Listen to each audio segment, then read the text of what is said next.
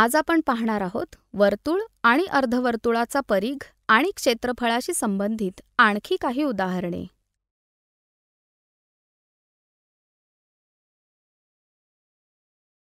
एका वर्तुळाकार बागेचा परीघ म्हणजे सर्कम्फरन्स दोनशे वीस मीटर आहे. बागेच्या सर्व बाजूने तीन मीटर रुंदीचा रस्ता आहे. त्या रस्त्याचे क्षेत्रफळ म्हणजेच एरिया काय आहे? दिलेल्या माहितीनुसार आपण या प्रकारे आकृती काढू शकतो.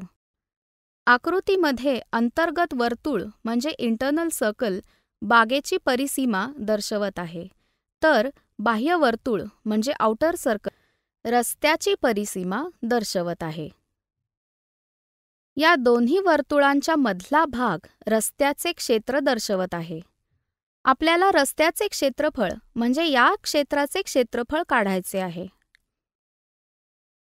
आपण पाहू शकतो की रस्त्याचे क्षेत्रफळ बाह्य वर्तुळाच्या क्षेत्रफळामध्ये समाविष्ट आहे परंतु अंतर्गत वर्तुळाच्या क्षेत्रफळामध्ये समाविष्ट नाहीये.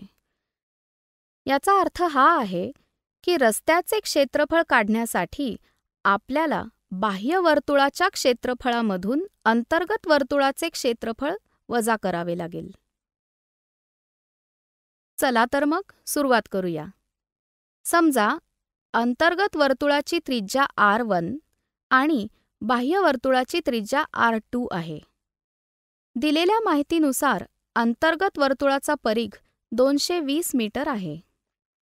वर्तुळाचा परीघ सी बरोबर दोन गुणिले पाय आर असतो. त्यामुळे येथे दोन गुणिले पाय आर वन बरोबर दोनशे वीस मीटर आहे. त्यामुळे दोन गुणिले बावीस भागिले सात गुणिले आर वन बरोबर दोनशे वीस मीटर आहे. दोन्ही बाजूंना दोननी भागून आपल्याला बावीस भागिले सात गुणिले आर वन बरोबर एकशे दहा मीटर मिळेल. या प्रकारे दोन्ही बाजूंना सात भागिले बावीसने गुणाकार केल्याने आपल्याला आर वन म्हणजे अंतर्गत वर्तुळाची त्रिज्या पस्तीस मीटर मिळेल. आता तुम्ही सांगू शकता का की बाह्यवर्तुळाची त्रिज्या आर टू काय असेल? विचार करा विचार करा. एकदम बरोबर. बाह्यवर्तुळाची त्रिज्या मिळवण्यासाठी आपल्याला वर्तुळाकार बागेच्या त्रिज्येबरोबर रस्त्याच्या रुंदीची बेरीज करावी लागेल. म्हणजे बाह्य वर्तुळाची त्रिज्या आर टू होईल पस्तीस मीटर अधिक तीन मीटर बरोबर अडतीस मीटर. कारण वर्तुळाचे क्षेत्रफळ बरोबर पाय आर स्क्वेअर आहे त्यामुळे येथे अंतर्गत वर्तुळाचे क्षेत्रफळ पाय आर वन स्क्वेअर होईल तर बाह्य वर्तुळाचे क्षेत्रफळ पाय आर टू स्क्वेअर होईल. जर आपण बाह्य वर्तुळाच्या क्षेत्रफळातून अंतर्गत वर्तुळाचे क्षेत्रफळ वजा केले तर आपल्याला रस्त्याचे क्षेत्रफळ मिळेल. म्हणजेच रस्त्याचे क्षेत्रफळ पाय आर टू स्क्वेअर वजा पाय आर वन स्क्वेअर होईल. येथे आपण पायला सामायिक घेऊ शकतो.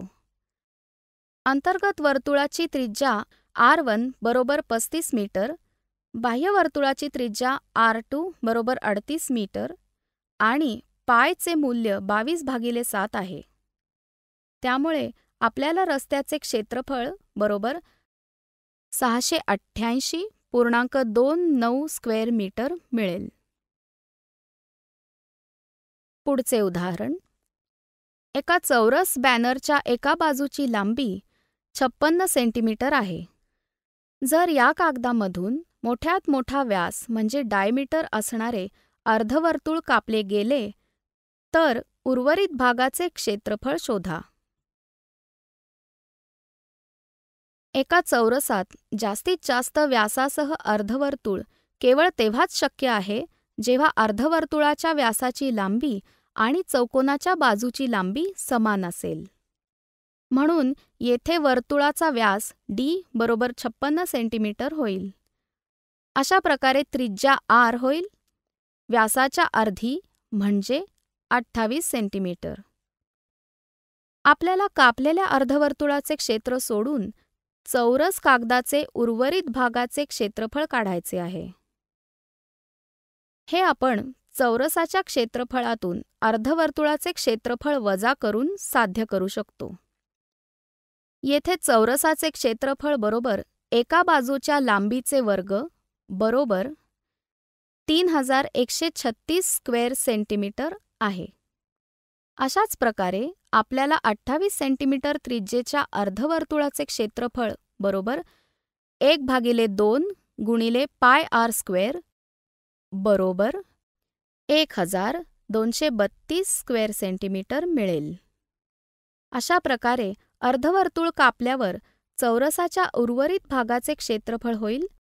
चौरसाचे क्षेत्रफळ वजा अर्धवर्तुळाचे क्षेत्रफळ बरोबर तीन हजार एकशे छत्तीस स्क्वेअर सेंटीमीटर वजा एक हजार दोनशे बत्तीस स्क्वेअर सेंटीमीटर बरोबर एक हजार नऊशे चार स्क्वेअर सेंटीमीटर आहे. आज आपण पाहिले वर्तुळ आणि अर्धवर्तुळाचा परीघ आणि क्षेत्रफळाशी संबंधित आणखी काही उदाहरणे.